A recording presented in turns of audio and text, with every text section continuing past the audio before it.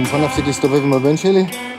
שמע, אייל, אני מבין מה אתה עובר עכשיו. שחררו אותי מהזיוני שכל שלך. הילד מתרוצץ לי על הגגות עם מכשירי וידאו. כבר לא ילד. נכון, אבל הוא שלי.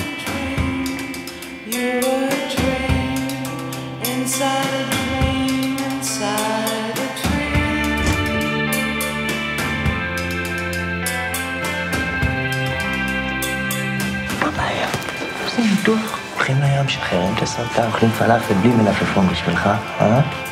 Pingpong zacht door ging die schon. En I can't understand. Heb je het? Ja. Wie wil het